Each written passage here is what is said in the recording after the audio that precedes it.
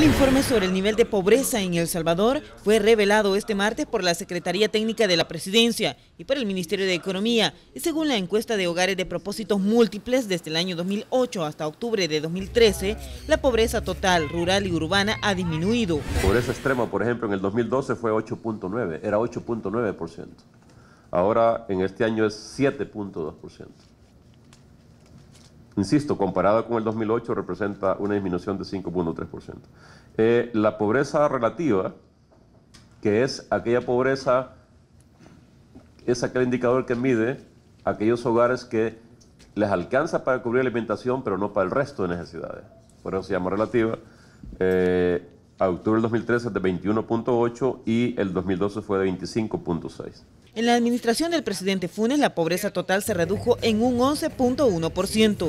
Que la pobreza nacional, la pobreza total en el país, estaría bajando del 40% que estaba en el año 2008 al 28.9%, que es el dato a octubre 2013.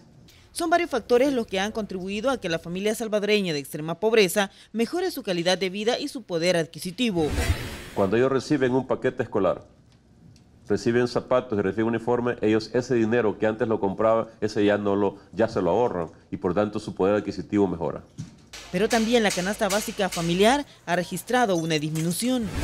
Que la canasta básica alimentaria rural en enero de este año tenía 126 dólares con 93 centavos y cerró diciembre con 123 dólares 43 centavos. Y la canasta básica urbana estaba en enero en 173 dólares con 28 centavos y cerró con 174 dólares con 17 centavos.